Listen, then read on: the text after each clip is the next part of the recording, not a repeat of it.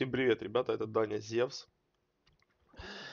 Сушка продолжается, правда, вчера наелся чуть углеводов, э, всяких там э, кураги, орехов, ну такого, я не понятно, понятно, что там как бы жареную картошку, бутерброды, пиво, тут такое вообще как бы исключено, но чуть-чуть сорвался.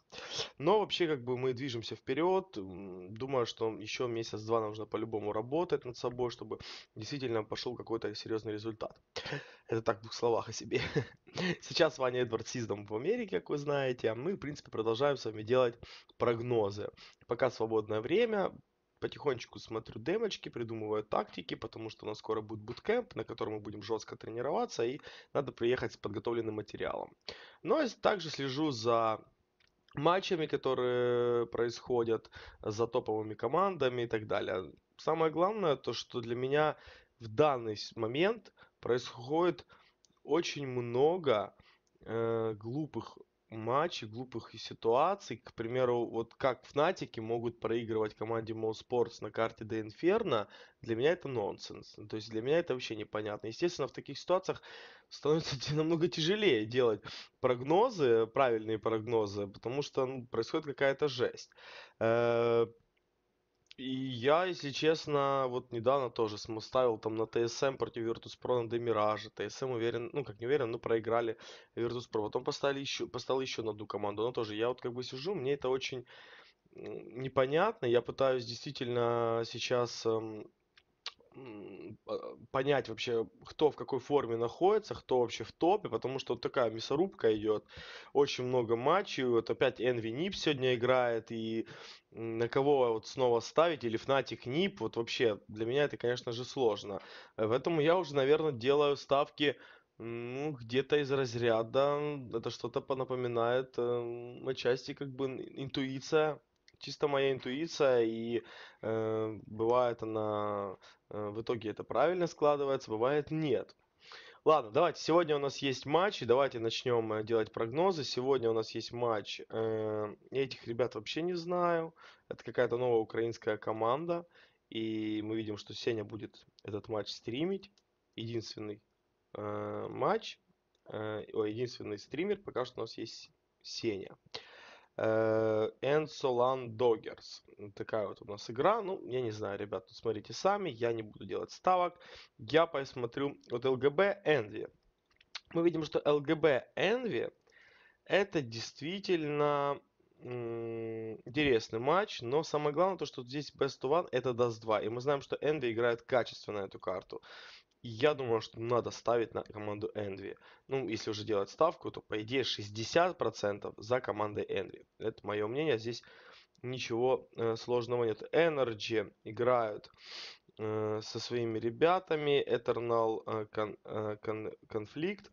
Но я думаю, что все-таки есть смысл поставить на Energy, потому что они стабильнее показывают игру в последнее время. И как-то они на виду. Хотя бы эти ребята на виду. Дальше у нас есть Fnatic Nip, карта Mirage.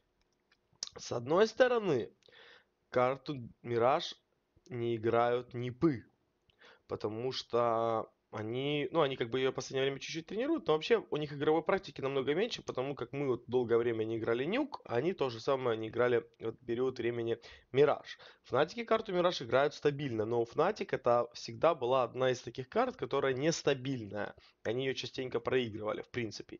Можете вспомнить, они проигрывали и на Дримхаке Hellraisers, они проиграли эту карту, они проиграли, ну, и там, если перебирать, короче, они много раз проигрывали эту карту, в принципе, она у них очень нестабильная, с учетом того, что они, бывало, были в топе, в финалах там на этом чемпионате. Но за чемпионат карту могли эту проиграть. Но при этом, э, но при этом, но при этом все равно у Фнатиков больше опыта. О, больше опыта на этой карте. И на эту карту я поставлю. Потому что матч сложный, ребят. Нипы могут выиграть, Фнатики могут победить, да, то есть реально 50 на 50. Но соцвесив все за и против, я поставлю 50, ребят, 5 процентов на команду Фнатик.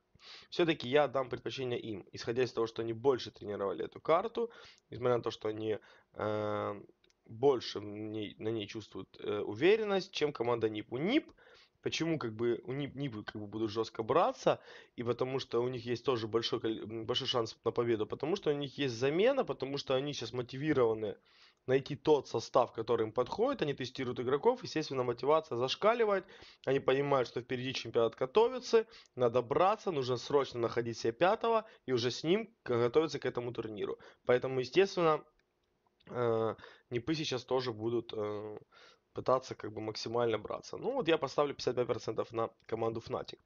Э, этот матч мы пропускаем. Я не знаю, что это за команда. Дальше у нас Fnatic LGB, карта Dcash. В последнее время очень много команда Fnatic играет эту карту, и мы видим, что они играют ее довольно-таки неплохо. Они чувствуют на ней уверенно себя, они выигрывали у самых топовых команд. Я думаю, что они должны уверенно справляться с командой ЛГБ. Несмотря на то, что они проиграли Мауспорс на Инферно, это, конечно же, знаете, говорит о том, что какая-то все-таки нестабильность присутствует у ребят. Но этот, э, это и Мауспорс, которые, как всегда, могут выиграть у кого угодно в интернете, на любой карте, неважно. Сиз греет ручки. А, кстати, тут камера стоит, а вот он.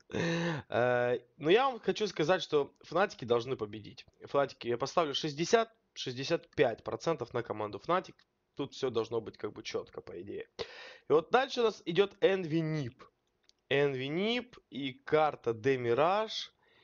И я вам хочу признаться, что команда Envy эту карту тоже играет слабенько. Несмотря на то, что у них есть два авика, э, которые будут работать на карте, они играют и не очень. Ну давайте, знаете, давайте как бы отталкиваться от того, конечно же, Непы сыграют с Fnatic на карте Demirage. Вы посмотрите, сделайте анализ, э, как Непы чувствуют на этой карте, насколько они раскованы, насколько они уверены, как они вообще, на чем они строят стратегию. И тогда уже будет отталкиваться, какой, какую именно можно делать ставку на этом, в этом матче.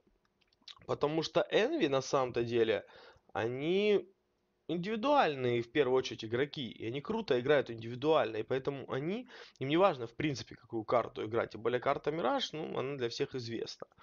Вот. Здесь просто реально 50 на 50. Здесь нужно понять, э, как играют Непы. Потому что вот на скидку вот сейчас я бы все-таки мог бы поставить на команду Envy 55%. Но если Непы с натиками покажут реально достойную игру, бой, может не выиграть, ну там, да, вот мы видим, то можно тогда уже пересмотреть и реально либо на Непов поставить, либо уже, э, наверное, отталкиваться от того, как, как, как вы вообще на самом-то деле, за кого вы болеете, как вы чувствуете и какая у вас интуиция. И вот если мы, допустим, нету, да? Почему, подожди, что-то неправильно написал? Вот, и мы видим, что вот ребята играли Best of 3 раз. И тут карты Мираж не было. И мы смотрим Best of 3 2. И тут карты до Мираж не было, да? То есть и мы знаем, что LDLC не играли особо эту карту. И мы понимаем, что Непы, если мы посмотрим за Непами, да, то есть если мы возьмем, допустим, там как бы напишем Нип, да, то мы понимаем то, что мы увидим немного, но мы увидим у них, э, так, Здесь мы вряд ли увидим. Сейчас они с кем они могли? Ну, вот с Натиками они могли играть. Мираж, теория. Вот, пожалуйста, они играли уже Мираж. И мы видим, что команда Fnatic 19-15 выиграли. 13-2, 13-2 за контров. Жестко ребята поработали.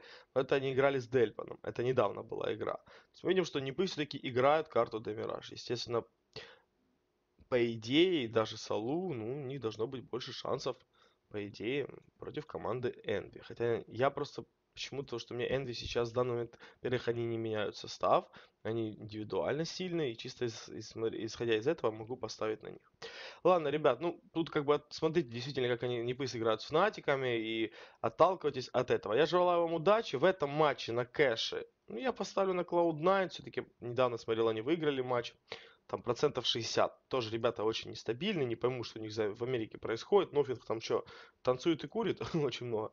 Ну вот, что-то они реально там сходят с ума, но надеюсь, что у ребят все-таки все получится, потому что ребята позитивные, хорошие, реально с ними хорошо дружу. Ну, это был Даня Зевс, я желаю вам удачи, увидимся, пока. Ловите пятерочку, выигрывайте.